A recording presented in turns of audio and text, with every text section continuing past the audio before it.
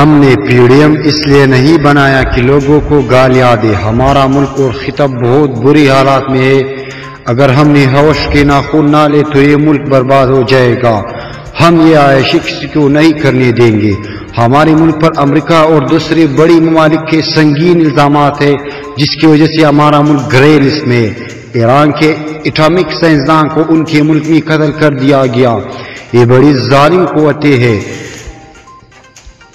ये बड़ी तालीम को आते हैं, इन्होंने बटाबाद में दिन दहाड़े हमला किया और जो आदमी दुनिया को चाहिए था उसे मार दिया।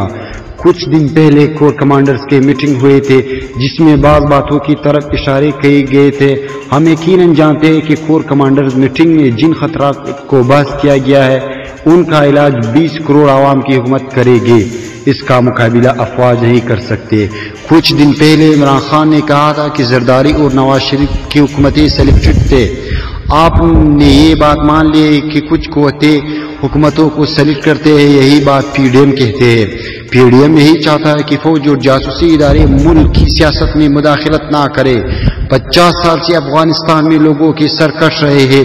कुरान मजिद का हुक्म है कि अगर मुसलमान के दो ग्रोह के दरमियान लड़ाई हो तो उनके दरमियान सुलह करवा दो।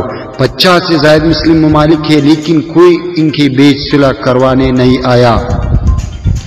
जिस तरह ईरान के अंदर लोगों को मारा जा रहा है, कल यही बमबारी पाकिस्तान में हो सकती है।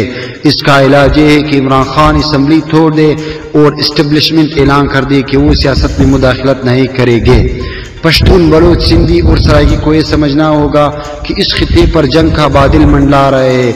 हमने ये खुद भी समझना होगा और एक दूसरे को भी समझना होगा कि मिलकर मुकाबला करना है।